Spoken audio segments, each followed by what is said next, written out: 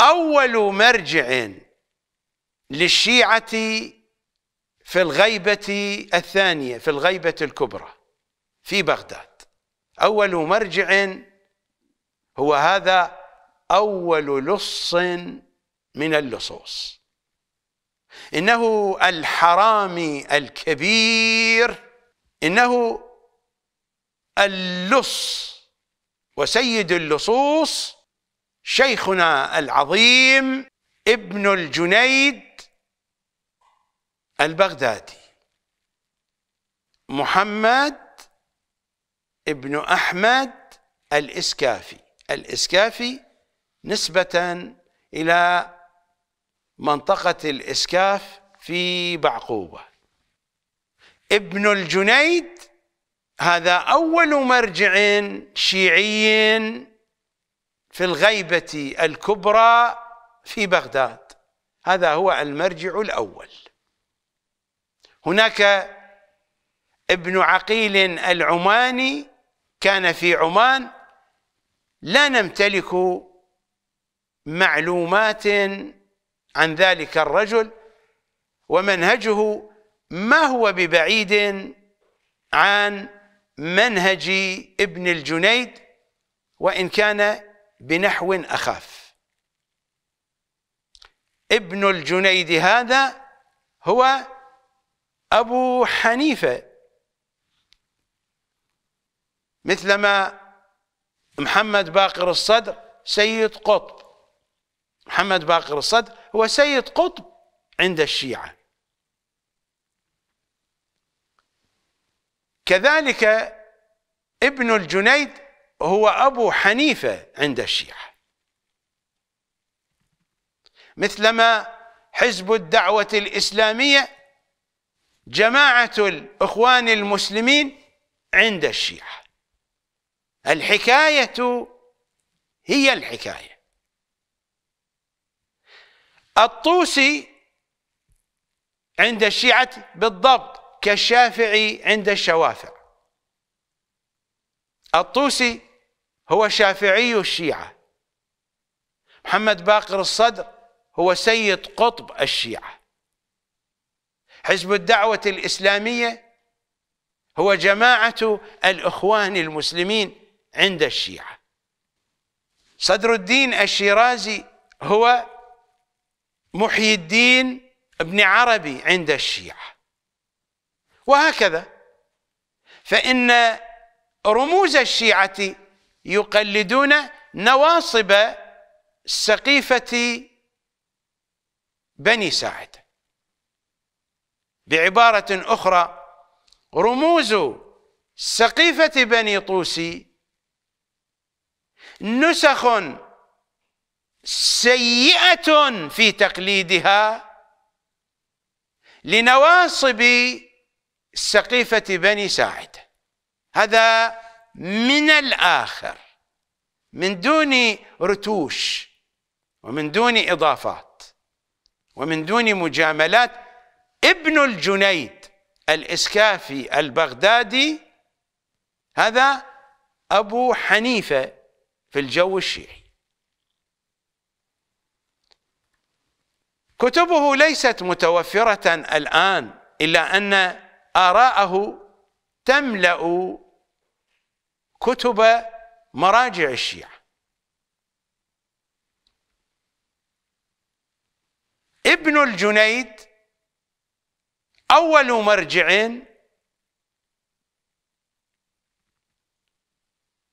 وهذه فتواه في الخمس. بالضبط.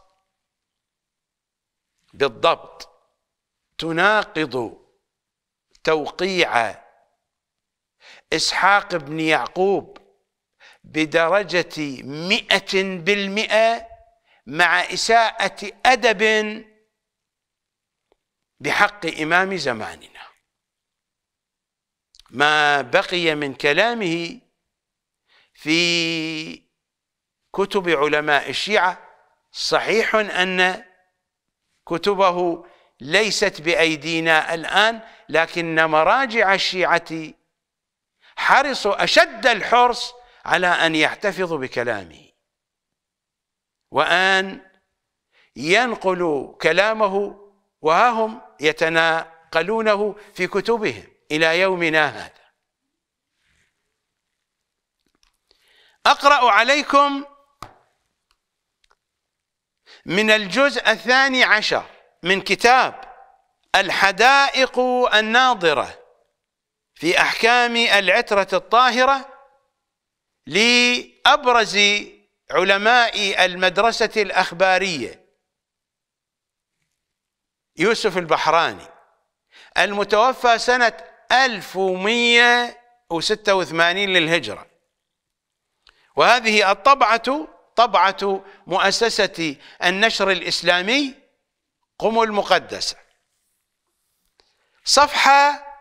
المقدسة صفحة 443 ينقل فتوى ابن الجنيد في موضوع الخمس زمان الغيبة الثانية.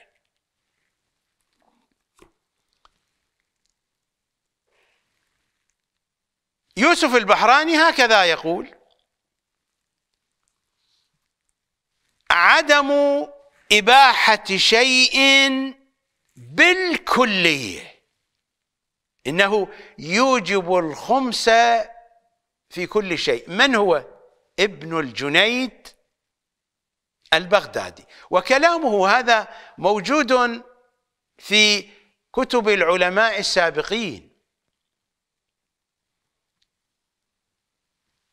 المرتضى السيد المرتضى كان حريصا جدا على أن يهتم بآرائه.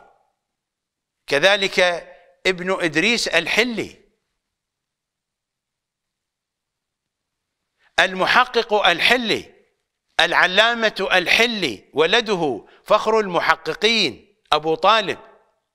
الشهيد الأول الشهيد الثاني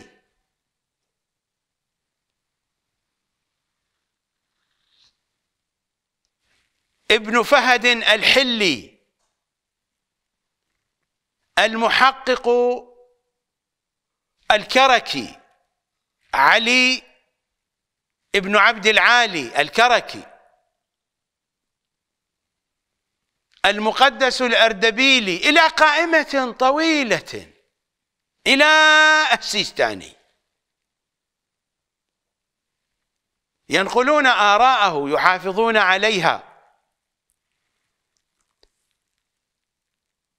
هذا هو رأيه. عدم إباحة شيء بالكلية. هناك من علماء الشيعة من مراجع الشيعة في زمانه من قال بإباحة بعض موارد الخمس بنحو جزئي. لكن هذا أوجب الخمس في كل شيء بالضبط بعكس ما كان عليه. حكم الخمس الطيب زمان الغيبة الأولى. عدم إباحة شيء بالكلية حتى من المناكح والمساكن والمتاجر التي جمهور الأصحاب على تحليلها. على تحليلها على تحليل ما هم بحسب تقديرهم يكون مرتبطا بالزواج والتناسل. أنا لا أريد أن أخوض في كل التفاصيل ولكن هناك من علماء الشيعة من اباحوا شيئا من الخمس. ابن الجنيد أوجب الخمس بالكلية في كل الموارد من دون تحليل في أي مكان وفي أي جزء. عدم إباحة شيء بالكلية. حتى من المناكح والمساكن والمتاجر التي جمهور الأصحاب على تحليلها بل ادعي الإجماع من قبل بعض علماء الشيعة بل ادعي الإجماع على إباحة المناكح لأجل طيب الولادة هم لا يفقهون شيئا من منظومة طيب الولادة ومنظومة خبث الولادة. ولم يفقهوا أحاديث التحليل من أن الخمس عبادة والعبادات ملاكاتها منها ما يرتبط بعالم الغيب ومنها ما يرتبط بعالم الشهادة. وأكثر أحاديث التحليل ترتبط بملاك عبادة الخمس في عالم الغيب في العالم الأخروي. هذه الحقائق لا يفقهونها. لماذا؟ لأنهم لا ينظرون بعدسة العترة إلى حديث العترة وإنما ينظرون بعدسة الشافعي المعتزليه الشافعي ما هو معتزلي ولكن الطوسيين خبطوا وخلطوا بين ما هو شافعي وما هو معتزلي سيأتينا الكلام واضحا بخصوص هذه المسألة حين أحدثكم عن علم الأصول. ستعرفون هذه الحقيقة بشكل واضح إن شاء الله تعالى في قادم الحلقات. عدم إباحة شيء بالكلية حتى من المناكح والمساكن والمتاجر التي جمهور الأصحاب على تحليلها بل ادعي الإجماع على إباحة المناكح وهو مذهب ابن الجنيد. هذا هو الحرامي الأكبر. هذا هو اللص الأكبر. فإنه قال ماذا قال ابن الجنيد؟ دققوا معي النظر. فإنه قال وتحليل من لا يملك جميعه عندي غير مبرئ من وجب عليه حق منه. لغير المحلل لغير المحلل هو يتحدث عن الإمام المعصوم. يقول وتحليل من لا يملك جميعه يقول من أن الخمس شطر يملكه الإمام وشطر يملكه الهاشميون. فالإمام ليست له من صلاحية أن يحلل جميع الخمس لأنه لا يملك جميعه. عرفتم الآن من أين جاءنا هذا الهراء؟ من أن الهاشميين يملكون الخمس؟ لم يأتنا من آية الخمس لأن آية الخمس لم تصرح بأن الأصناف التي ذكرت فيها يملكون الخمس. ولذي القربى واليتامى والمساكين وابن السبيل. هذه الأصناف التي ذكرت وهذا التعبير بالأصناف هو التعبير الشائع في الكتب الفقهية. فالآية لم تصرح بملكية هؤلاء. للخمس. وكذا الروايات. إنما هو بيان لطريقة الصرف إذا كان هناك من ضرورة أن يكون الصرف هكذا. وإلا فإن الأمر كله للإمام للأئمة المعصومين الأربعة عشر. ابن الجنيد هذا الحرامي الناصبي يقول وتحليل من لا يملك جميعه عندي هو من أنت؟ حتى تصدر حكما على الإمام المعصوم. وهذا هو الذي عليه المراجع الآن. حينما توجه سؤالا إلى مكاتبهم يقولون سماحة المرجع رأيه كذا وكذا. من هو هذا المرجع؟ ما قيمته؟ فردة جراب عتيقة جايفة خايسة ومرمية بالزبالة أشرف من عمامته. من هو هذا المرجع الذي يكون له رأي؟ فقهاء شيعتي هم لسان ناقل للذي يقوله المعصوم. أما هؤلاء الثولان في النجف وكربلاء يجعلون الدين وفقا لآرائهم العاطلة.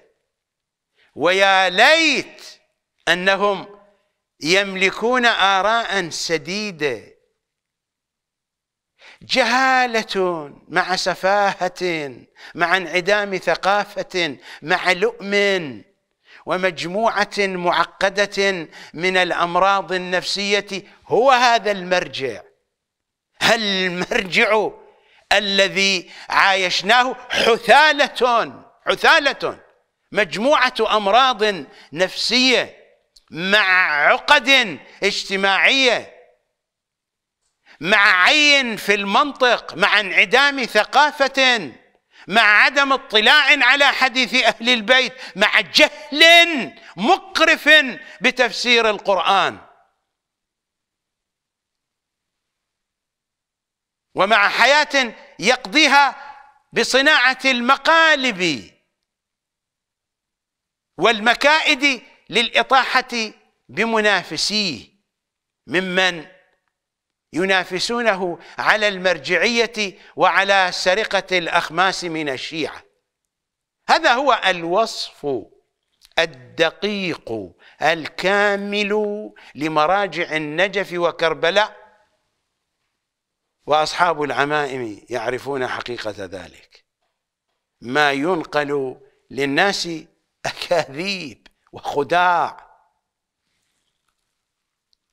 وإلا من هو هذا الحيوان هذا ابن الجنيد الذي يريد أن يحكم على محمد وآل محمد؟ وتحليل من لا يملك جميعه عندي من هو أنت؟ يا أيها الخاسئ الحقير من هو أنت؟ وتحليل من لا يملك جميعه عندي هذا التحليل غير مبرئ من وجب عليه حق من من الخمس. لغير المحلل يعني للهاشميين باعتبار أن المحلل الإمام يحق له أن يحلل حقه. لكن لا يحق له أن يحلل حق الهاشميين. لأن التحليل إنما هو فيما يملكه المحلل لا فيما لا يملك. وإنما إليه هذه وظيفة الإمام إليه ولاية قبضه وتفريقه في الأهل الذين سماه الله لهم في الأصناف. فالإمام المعصوم بمثابة جابي عند الهاشميين هكذا يقول وإنما إليه ولاية قبضه قبض الخمس وتفريقه في الأهل الذين سماه الله لهم هذا المنطق منطق إنسان لا يفقه شيئا من دين العترة ولا يفقه شيئا من حديثهم ولا من قرآنهم. ولذا فإن مراجع الشيعة يعدونه من أفقه الفقهاء لأنه لا يفقه شيئا. لأنه من أسفه السفهاء. إلى اليوم مراجع الشيعة يعدونه من أفقه الفقهاء ويمدحونه مدحا عظيما في كتبهم.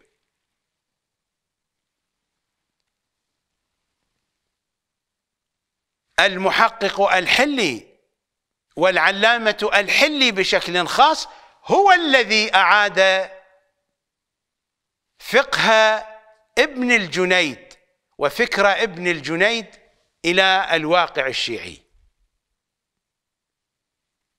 وبقي فقه ابن الجنيد موجودا إلى يومنا هذا ما هو الرأي القائم الآن بخصوص الخمس يشرب من هذا الكلام.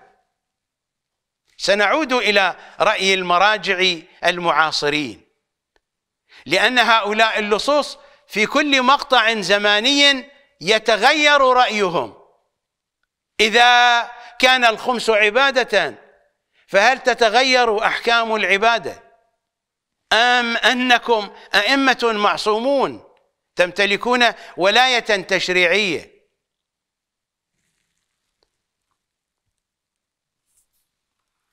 فهذا كلام هذا الحرامي. أتحدث عن ابن الجنيد. شيخ يوسف البحراني في صفحة 465 يعلق على كلام ابن الجنيد الذي قرأته عليكم. لا أريد أن أقرأ كل التفاصيل وإنما سأقرأ جانبا من كلامه الذي يرتبط بجهة سوء أدبه وسوء عقيدته. وأما ثانيا فإن كلامه فيما قدمناه من عبارته لا يخلو من سوء الأدب في حق الإمام عليه السلام من حيث أنه نسبه إلى التصرف فيما لا يجوز له التصرف فيه. وإباحة ما ليس له إباحته. إلا أن يحمل كلامه على عدم ثبوت أخبار التحليل عنده. وهو بعيد غاية البعد لما عرفت من شهرتها واستفاضتها. هو انتقده لكنه بعد ذلك تراجع بعض الشيء. لا أعبأ له بيوسف البعراني. ومن هو يوسف البعراني؟ ومن هو ابن الجنيد؟ ونحن عندنا حديث العترة واضح. وتوقيع إسحاق بن يعقوب جلي بين. ألا تف على ابن الجنيد؟ ألا تف وتف. في وجهه القبيح القذر. ألا لعنة على دينه؟ ألا لعنة على فقهه؟ من أول مرجع وإحنا وين ماكو واحد كلب ابن كلب يسلط علينا؟ هذا هو أول كلب ابن كلب من المراجع الذين تسلطوا علينا. إنه ابن الجنيد الإسكافي المنعول الوالدين هذا. أول مرجع تسلط علينا هو كلب ابن كلب منعول والدين نذهب إلى فاصل. ماذا كتب الطوسي؟ محمد بن الحسن الطوسي مؤسس المذهب الطوسي سنة 448 للهجرة حينما انتقل من بغداد إلى النجف. كتابه الفهرست وهذه طبعة نشر الفقاهة. صفحة 209 رقم الترجمة 601 محمد ابن أحمد ابن الجنيد يكنى أبا علي. وكان جيد التصنيف حسنه.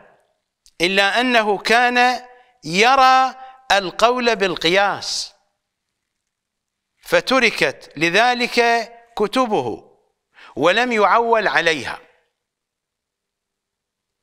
كان هذا الأمر معروفا بين الشيعة. فلذا بعد وفاته أعرضت الشيعة عن كتبه. متى ولد ابن الجنيد؟ لا نعرف سنة ميلاده بالضبط لكن الذين تتبعوا تاريخه وضعوا سنة تقريبية لولادته. فقالوا من أنه ولد في السنة التسعين بعد المئتين. ألا تلاحظون أن أمرا يكاد أن يكون غريبا. ما قدرته قطعا بعيدا عن هذا الموضوع عن ولادة ابن الجنيد. قدرت ما قدرت وفقا لمعطيات ترتبط بتوقيع إسحاق بن يعقوب. قدرت أن التوقيع وصل إلى الشيعة في السنة التسعين بعد المئتين سنة 290 للهجرة تقريبا. والذين بحثوا في تأريخ ابن الجنيد قدروا أيضا تقريبا من القرائن من المعطيات المتوفرة من أن ولادته في سنة 290 تقريبا. هذا يعني أن إبليس بدأ عمله. وقد يكون ابن الجنيد شرك شيطان مثل ما تحدثنا الروايات. القرآن يخاطب إبليس وشاركهم في الأموال والأولاد فهناك الكثير من الناس الأئمة يصفونهم بأنهم شرك شيطان حتى من الذين يحبون العترة الطاهرة. أو أن الشيطان التزمه منذ ذلك التاريخ ما إن انتهت. الغيبة الأولى وبدأت الغيبة الثانية صار مرجعا للشيعة. وما إن صار مرجعا للشيعه حتى أصدر الفتوى بنقض حكم صاحب الزمان. شلون كلب ابن كلب؟ وتعال قدس هذا المنعول الوالدين. وذول الموجودين أنجس من عنده. وتعال هم قدسهم. واحد أنجس من الثاني. الشيعة مضحك. ومستاهلين. مستاهلين. وإحنا ننتقل من كلب ابن كلب إلى كلب ابن كلب. هذا هو الواقع. وإلا لماذا حكم الخمس الذي كان في زمان الغيبة الأولى لم يطبق؟ لماذا طبقوا علينا حكما مضادا ومناقضا لحكم إمامنا؟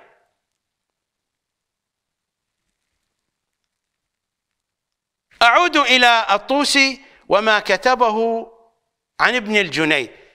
قلت لكم ولادة ابن الجنيد هكذا قدروها سنة 290 تاريخ وفاته على ما هو معروف وهناك من يشكك فيها. على ما هو معروف سنة 381 توفي في السنة التي توفي فيها الصدوق.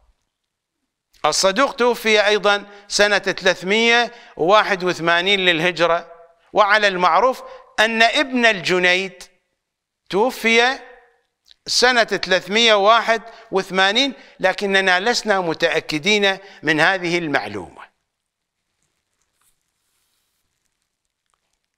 محمد ابن أحمد بن الجنيد يكنى أبا علي وكان جيد التصنيف حسنه إلا أنه كان يرى القول بالقياس فتركت لذلك كتبه ولم يعول عليها وله كتب كثيرة منها.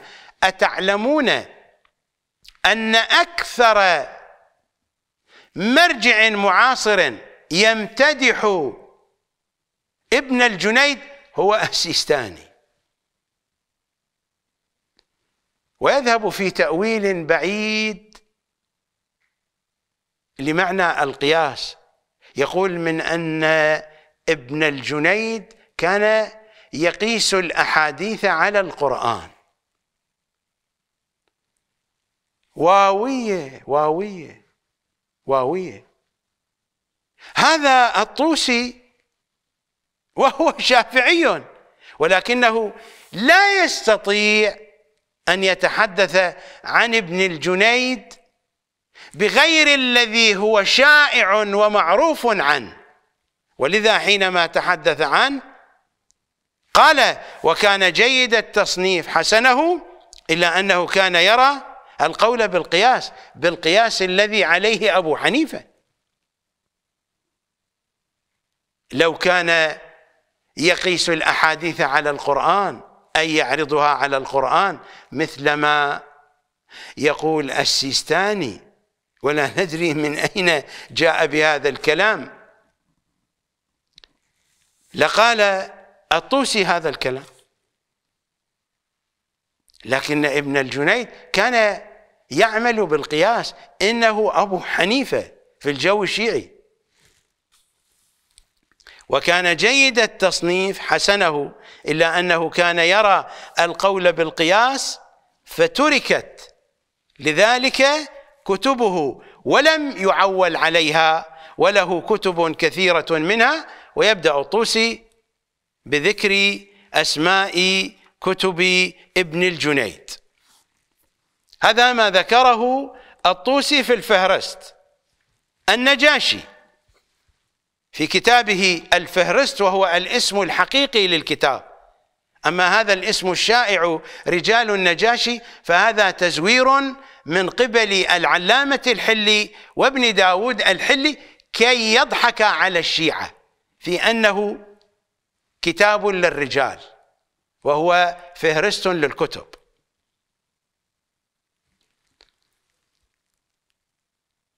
رجال النجاشي. الموجود على الغلاف رجال النجاشي. ولكن إذا ما دخلنا إلى الجزء الثاني في داخل الكتاب في داخل كتاب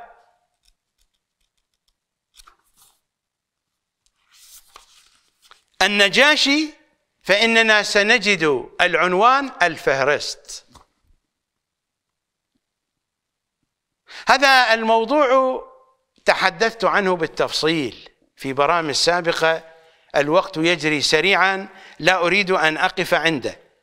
هذه الطبعة طبعة مؤسسة النشر الإسلامي قم المقدسة صفحة 385 رقم الترجمة 1047 محمد ابن أحمد ابن الجنيد. أبو علي الكاتب الإسكافي وجه في أصحابنا. كان مرجعا. فكيف لا يقول عنه؟ كان وجها.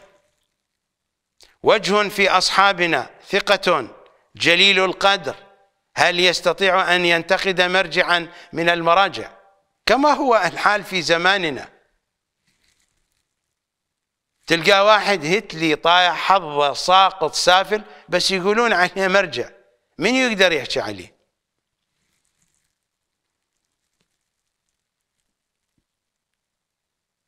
أبو علي الكاتب الإسكافي وجه في أصحابنا ثقة جليل القدر صنف فأكثر.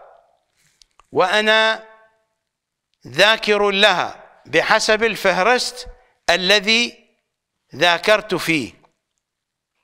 بحسب الفهرست الذي ذاكرت فيه نقل أسماء كتب ابن الجنيد من فهرست آخر ربما هو الفهرست الذي كتبه هو ابن الجنيد لكتبه.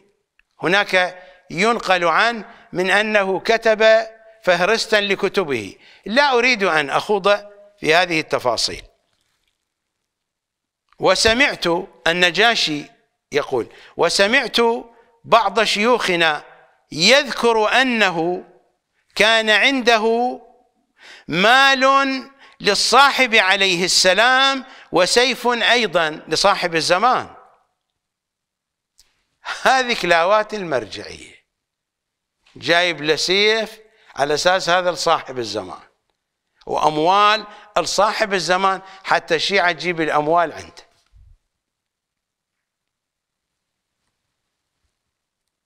الإمام الحجة في التوقيع الأخير ماذا قال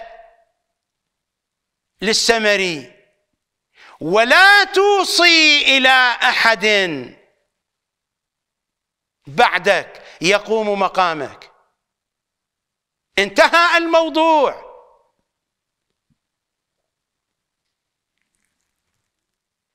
فبدأوا يشتغلون بهاي الملاعب. هذا أول مرجع. قلت لكم هذا كلب ابن كلب. واستلمونه من كلب ابن كلب إلى كلب ابن كلب وإلى يومنا هذا.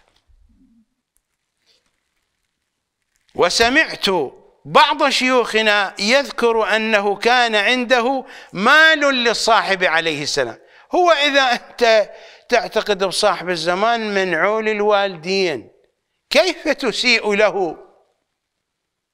بفتوى تخالف حكمه وتسيء له بكلامك من أنه لا يحق له أن يحلل الخمس. ابن الزفرة. إنني أصر على هذه الألفاظ كي أكسر هذه القداسة الزائفة في عقولكم وقلوبكم عن الماضين الأموات السفلة وعن الأحياء السفلة. هؤلاء هم الذين دمروا ديننا. هذا هو كلامه قرأته عليكم. بالله عليكم. هذا كلب ابن كلب لو مو كلب ابن كلب. ماذا تقولون أنتم؟ على الأقل أنا أعتقد هذا فيه. لا أبالي بكم قولوا ما تريدون أن تقولوا. وسمعت بعض شيوخنا هذا النجاشي يقول يذكر أنه كان عنده مال للصاحب عليه السلام وسيف أيضا وأنه وصى به إلى جاريته. لماذا لم يوصي به إلى المرجع من بعده؟ مو على أساس مراجع. ونواب صاحب الزمان أدري توصي به للجارية. الجارية صارت نائب صاحب الزمان. لكم مناهي للوالدين هتلية وأنه وصى به إلى جاريته. فهلك ذلك؟ هلك ذلك؟ يعني لا يعرف ذكر لذلك المال ولذلك السيف. لأن القضية أكذوبة لأنه كان كذابا. لا يوجد سيف ولا يوجد مال. وإلا كيف يوصي بمال صاحب الزمان وسيفه إلى جاريته؟ أليس الواجب أن يوصي بذلك إلى عيون الشيعة وثقاتهم؟ إلى المرجع الذي يأتي من بعده. إلى الهتلي اللي يجي من وراه.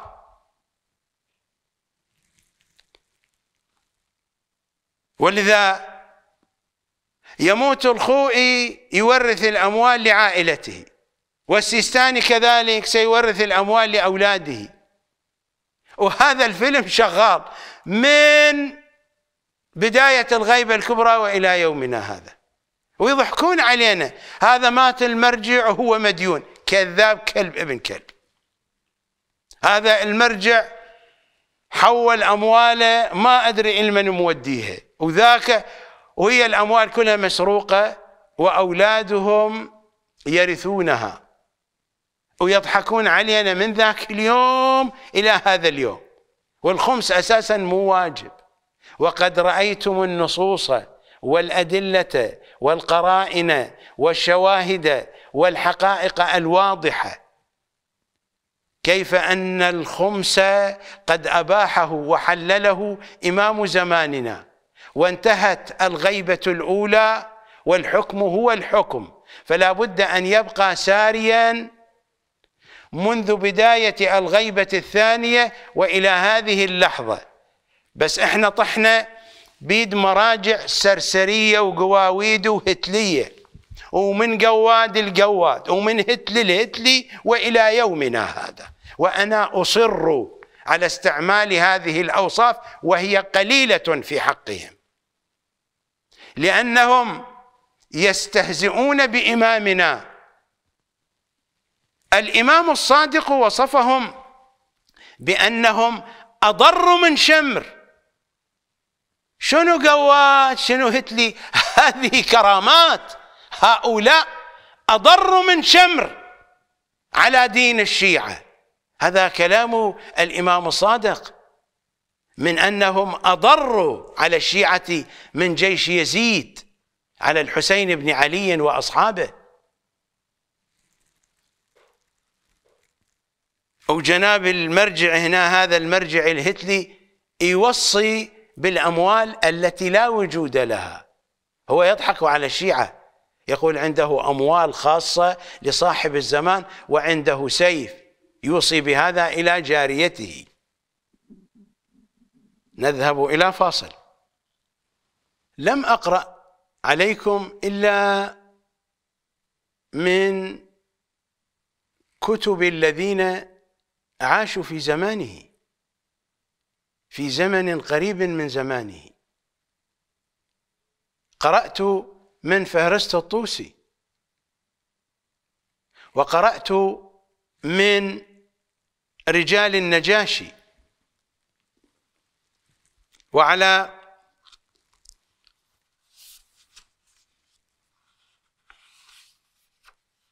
سبيل المثال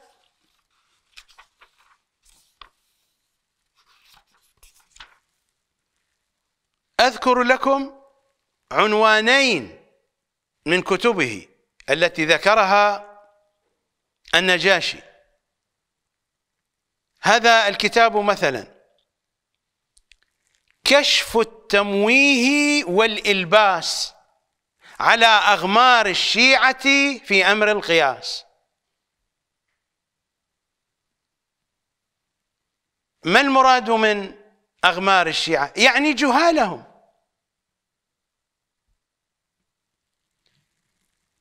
فهو يعتبر الشيعة الذين يعترضون على القياس يعتبرهم جهالا ولذا يريد أن يثبت لهم صحة منهجه ومبدئه في اعتماده القياس كما كان يفعل أبو حنيفة. كشف التمويه والإلباس على أغمار الشيعة في أمر القياس. وكتاب آخر إظهار ما ستره أهل العناد. من هم أهل العناد؟ إنهم السلف الصالح الذين ذكرهم إمام زماننا في الرسالة إلى المفيد. وبالمناسبة فإن المفيد من تلامذة ابن الجنيد. الرسالة التي وصلت سنة 410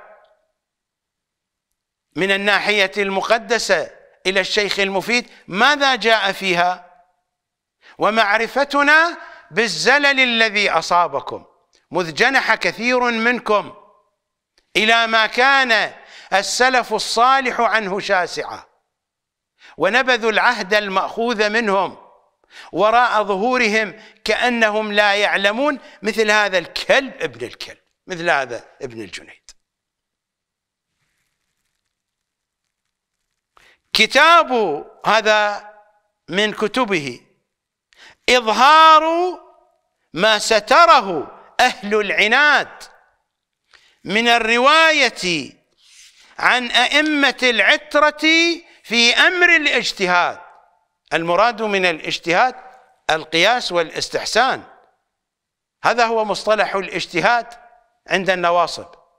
نحن ما عندنا اجتهاد في ثقافة العترة. هذا المصطلح الشائع الآن في النجف وغير النجف في الثقافة الحوزوية الشيعية. هذا جاءونا به من النواصب. وأول من طرحه بشكل واضح في كتبه المحقق الحلي المتوفى سنة 676 يعني في القرن السابع الهجري أول مرة يستعمل هذا المصطلح في الجو الشيعي. هذا المصطلح مصطلح مذموم. هذا مصطلح سقيفة بني ساعدة. أول من جاء به أبو بكر. ومن سقيفة بني ساعدة خرج هذا المصطلح.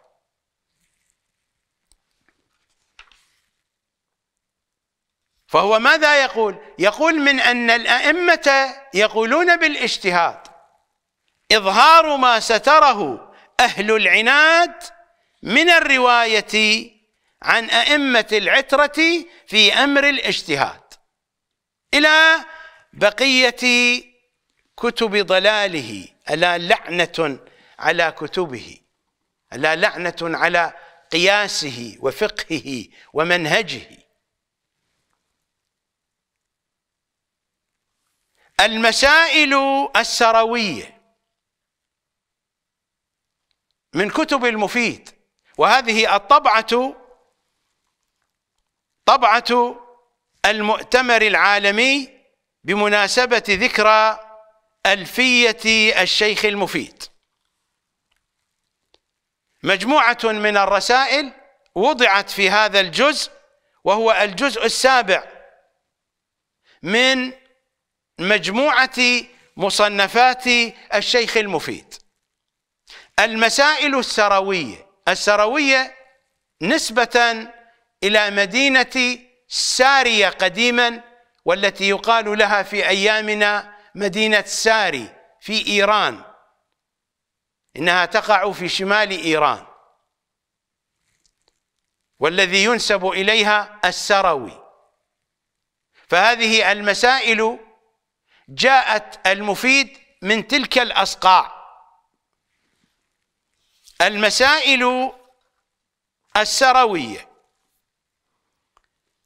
ماذا قال في المقدمة المفيد؟ وبعد. فقد وصلني المدرج المنطوي المدرج يعني الكتاب الكتاب الطويل من الجلد من غير الجلد من المادة التي صنع منها المدرج. وبعد فقد وصلني المدرج المنطوي على المسائل الواردة من جهة السيد الشريف الفاضل. أطال الله في عز الدين والدنيا مدته وأدام تأييده ونعمته ووقفت على جميعها وضاق المدرج عن إثبات أجوبتها. الكلام طويل وهذه الورقة الكبيرة لا تكفي. فأمليت ذلك في كتاب مفرد يأتي على المعنى إن شاء الله تعالى هي هذه المسائل السروية رسالة المسائل السروية. أذهب إلى الصفحة الحادية والسبعين من هذه الرسالة بحسب الطبعة التي أشرت إليها.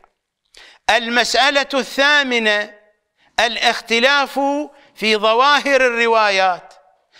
كان في نيتي أن أقرأ كثيرا من الكلام لكن الوقت يجري سريعا. ما قوله؟ هذا السائل يسأل المفيد. ما قوله؟ أدام الله تعالى نعماءه في من تندس طرفا من العلم. تندس طرفا من العلم أي حقق وبحث في جانب من العلم.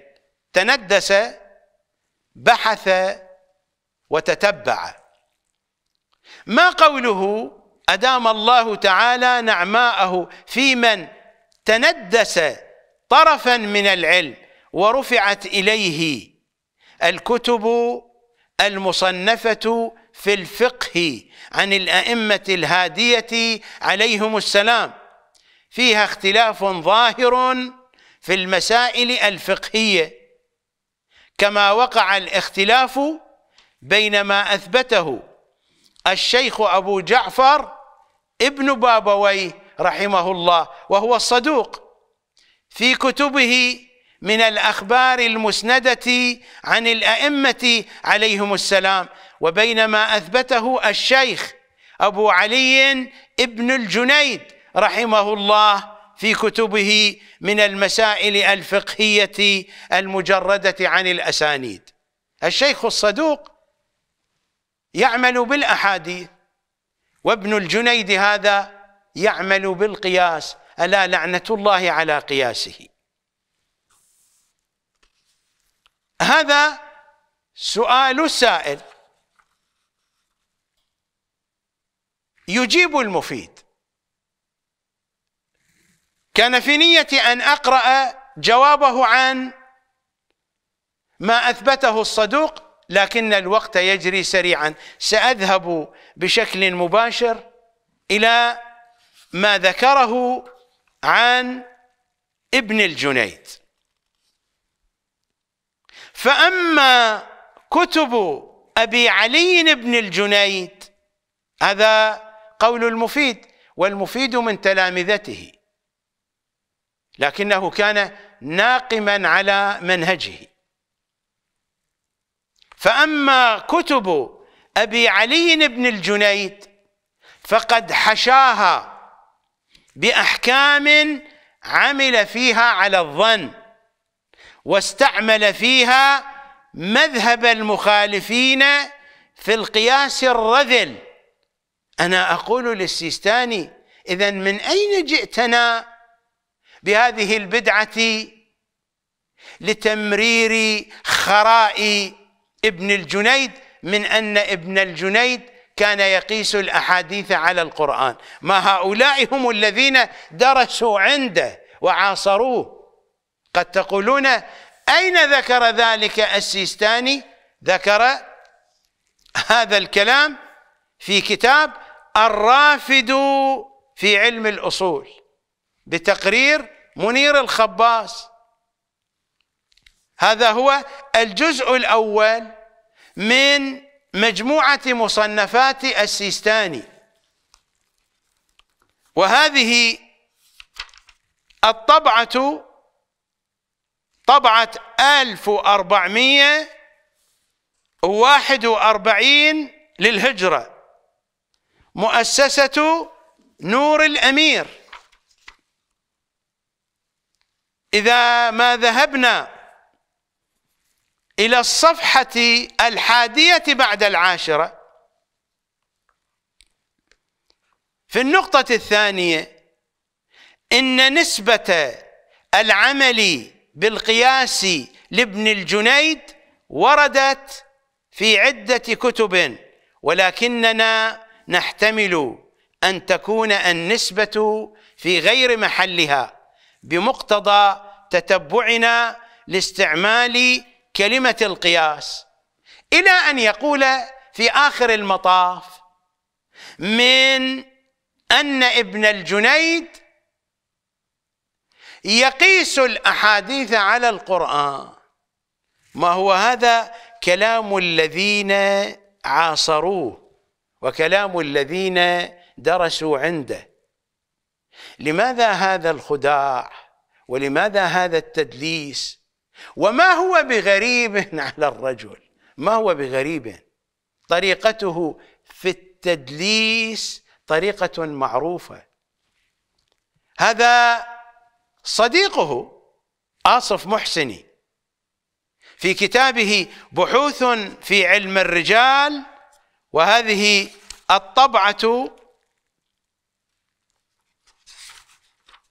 طبعة مركز المصطفى العالمي للدراسات والتحقيق صفحة 55 آصف محسني يتحدث عن السيستاني. وآصف محسني صديق للسيستاني وكانا يتباحثان معا هو يقول هذا. أنا لا أستطيع أن أقرأ كل شيء أورده في الكتاب. لكنه يعلق آصف محسني مدمر الأحاديث منكر الروايات. الذي شكك في كل الأدعية والزيارات. قطعا ليس من عنده. هو يقول أنا أطبق منهج أستاذي الخوئي. وآصف محسني مرجع من مراجع الشيعة في أفغانستان. يقول من أن السيستاني يتبنى رأيا في التعامل مع الروايات وأسانيدها يتبنى رأيا هكذا يقول عنه. ولعله لم يخطر ببال أحد من العقلاء سوى هذا السيد الجليل في تضعيف الروايات. هو السيستاني بيش فالح؟ فالح في التشكيك في عقائد أهل البيت وتضعيف الروايات. هذا هو اللي فالح به. هو وأولاده نفس الشيء. هو وأولاده. ما تدري أولاده أتعس من عنده؟ لو هو أتعس من عندهم بعض الأشياء هو أتعس من أولاده وبعض الأشياء أولاده أتعس من عنده وواحد أتعس من الثاني. هذا آصف محسني هو الذي يقول ولعله لم يخطر ببال أحد من العقلاء سوى هذا السيد الجليل. في الحاشية يقول محمد باقر الصدر على نفس هذا المنهج في تدمير أحاديث أهل البيت. عودوا إلى الكتاب واقرأوا. بحوث في علم الرجال. منهم وبيهم. هذا كلامهم وهذه كتبهم. هذا الكتاب الإمام السيستاني أمة في رجل. وهذه الطبعة طبعة مؤسسة البلاغ. في المقال الذي عنوانه سيرة ومسيرة. أمة في رجل. المرجع الديني الأعلى آية الله العظمى الإمام السيد علي الحسيني السيستاني دام ظله في الصفحة التاسعة والسبعين. وله آراء خاصة يخالف بها المشهور.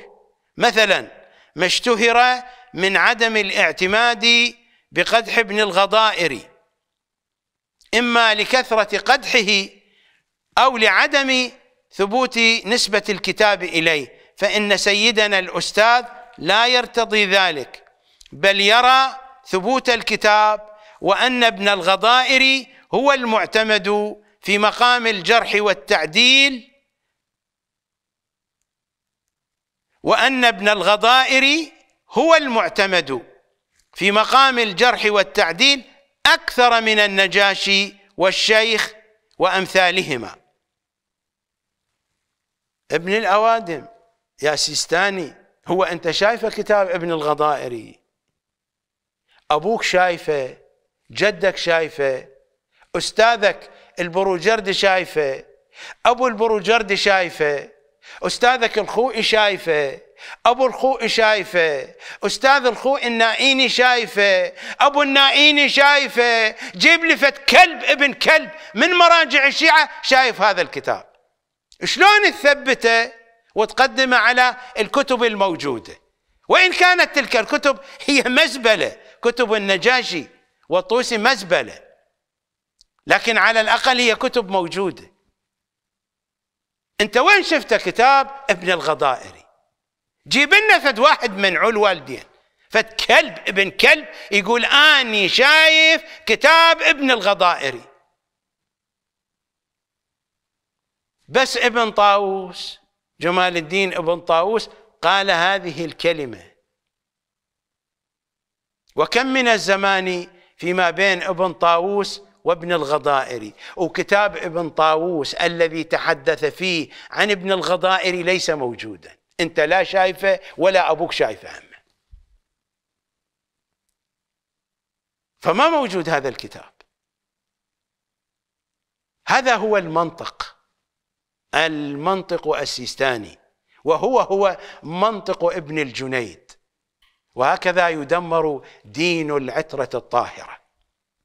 ألا تلاحظون أن مدمر الروايات يستغرب من موقف السيستاني من الروايات فيقول هذا القول الذي يتبناه في تقييم الأسانيد لا يقول به عاقل على وجه الأرض إلا هذا السيد الجليل. وهذا من أغرب الأقوال. كتاب لم يره أحد يقدمه على الكتب الموجودة. وإن كانت هذه الكتب مزبلة وخراء لكنها موجودة. وهؤلاء هم الذين عاصروا ودرسوا عند ابن الجنيد. هم يقولون هذا المفيد.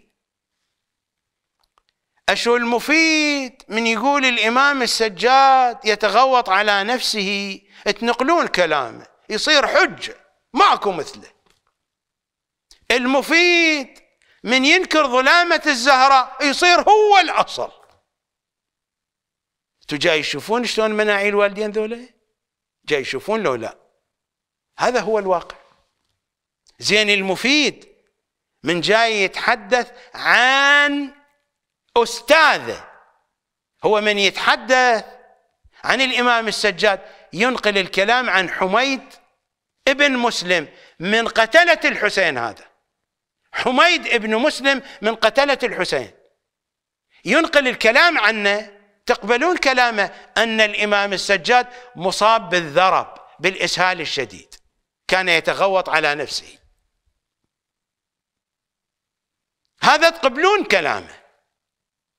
مع أن المفيد لم يكن حاضرا في الواقعة ونقل الكلام عن حميد بن مسلم.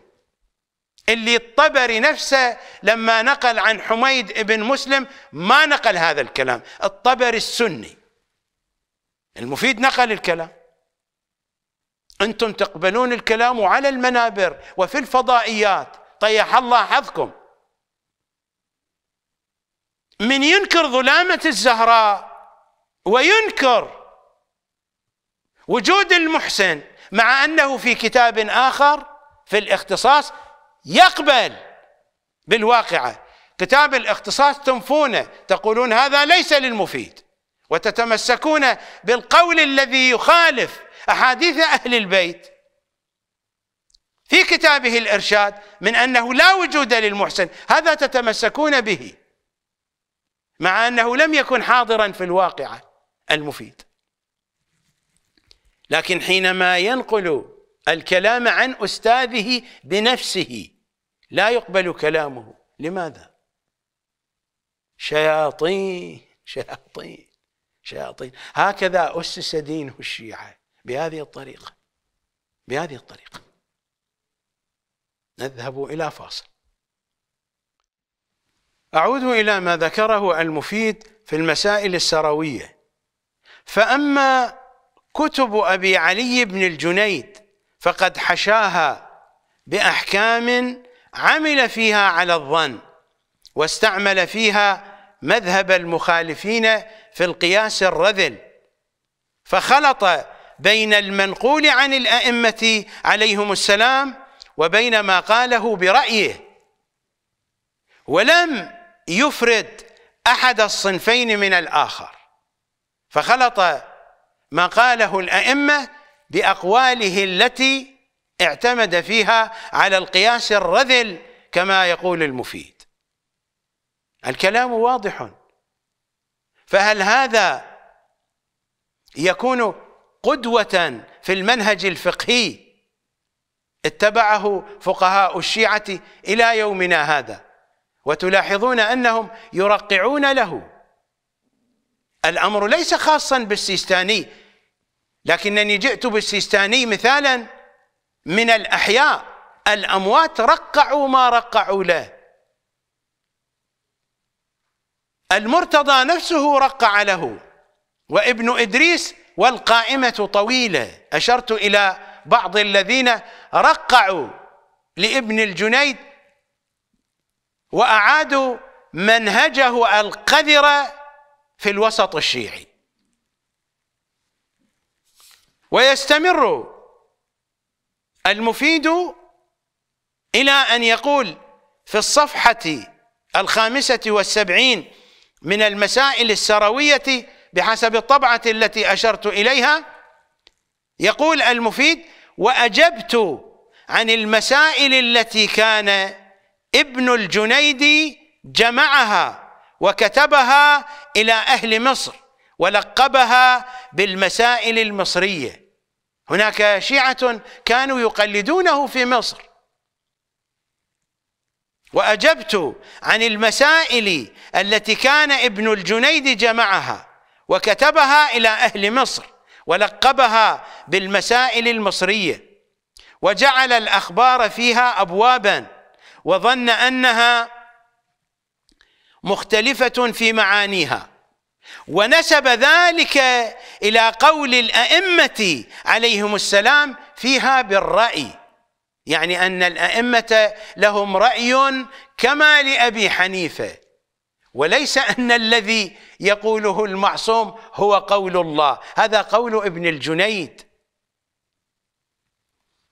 آثار هذا الفكر موجودة في منهج الحوزة النجفية والكربلائية اللعينة. حينما أقول لكم من أن العلامة الحلي ثبت منهج ابن الجنيد وسار المراجع إلى يومنا هذا عليه. وكلما استطاع أحد منهم أن يدافع عنه أن يرقع له فإنه يبادر إلى ذلك كما فعل السيستاني وقرأت ما قرأت عليكم من كتبه. ونسب ذلك إلى قول الأئمة عليهم السلام فيها بالرأي. وأبطلت ما ظنه في ذلك وتخيله إلى آخر كلامه. اذا هو يقول ويعمل ويفعل ويستنبط ويحكم وفقا للقياس وليس في أمر واحد أو في مسألة واحدة. وقرأت عليكم عناوين كتبه التي ذكرها النجاشي في الفهرست. والعناوين دالة على مضمون تلك الكتب كانت واضحة. وها هو المفيد؟ ينقل عن كتاب من كتبه المسائل المصرية من أن أحاديث أهل البيت هي آراء آراء. وليس أن حديث الإمام هو حديث رسول الله وحديث رسول الله هو حديث الله. كلامهم كلام الله. وكلام الله كلامهم. هؤلاء هم خلفاؤه الحقيقيون وهم الناطقون عنه وهم وجه الله الأكرم.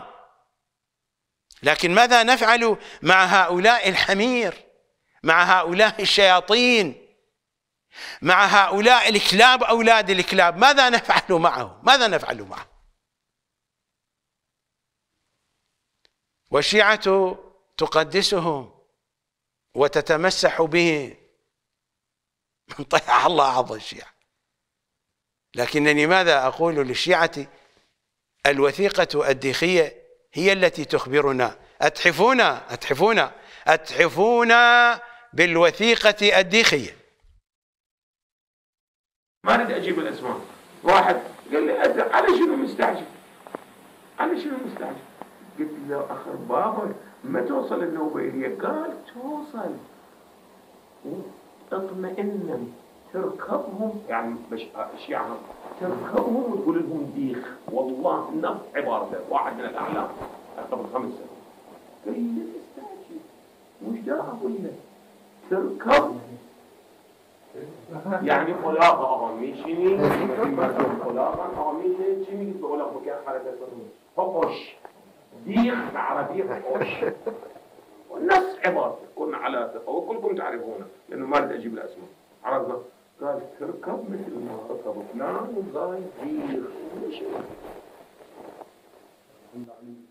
لا مو علم إجمالي هذا واقع واقع الشيعة.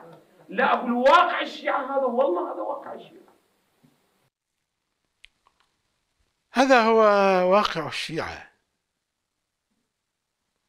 وسيبقى حالهم هكذا.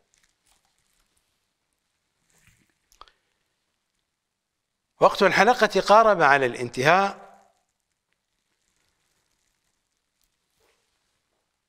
هناك كتاب آخر للمفيد أيضا. تحدث فيه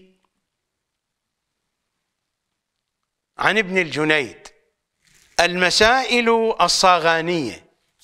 إنني أقرأ من الجزء الثالث من مجموعة مصنفات الشيخ المفيد بطبعة مؤسسة التاريخ العربي من إنتاج المؤتمر العالمي بمناسبة ذكرى ألفية الشيخ المفيد. المسائل الصاغانية نسبة إلى مدينة يقال لها صاغان في جهة أفغانستان وما وراء أفغانستان. هناك أكثر من مدينة يقال لها صاغان. في جهة أفغانستان وكذلك في المناطق البعيدة في الدول التي كانت سابقا تنتمي إلى الاتحاد السوفيتي. المسائل الصاغانية. هذه مجموعة مسائل بعث بها أحد الشخصيات الشيعية من خراسان. هذه المسائل في أصلها سألها أحد علماء الأحناف وبحسب المحقق الذي حقق الرسالة المسائل الصغانية جمع بعض القرائن على أن العالم الحنفية هذا هو أبو العباس الفضل ابن العباس ابن يحيى الصاغاني الحنفي بحسب المحقق وكلامه يبدو معقولا جدا. فهذا شخصية معروفة في التاريخ من شخصيات الأحناف في تلك الأصقاع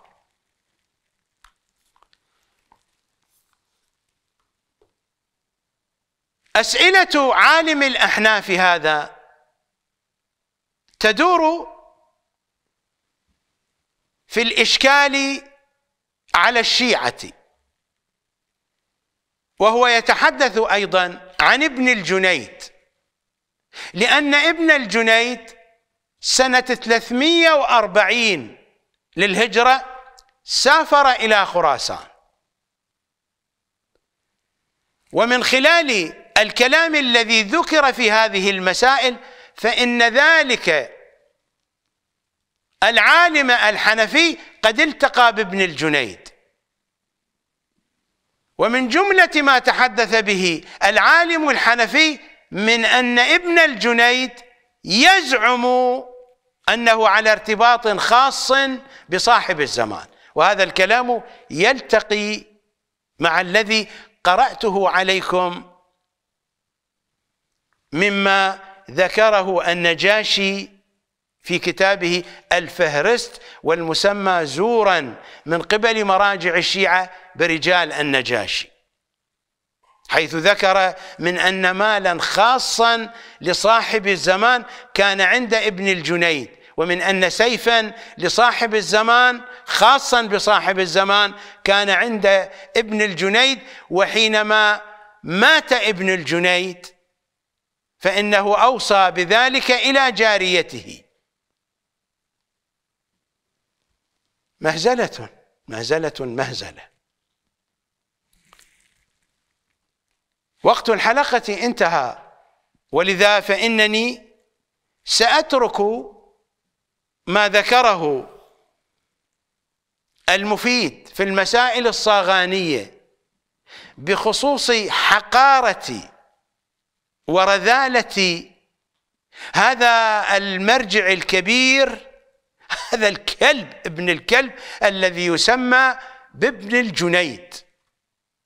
قبحه الله وقبح وجهه في الدنيا والآخرة. هؤلاء هم سادتنا ومراجعنا.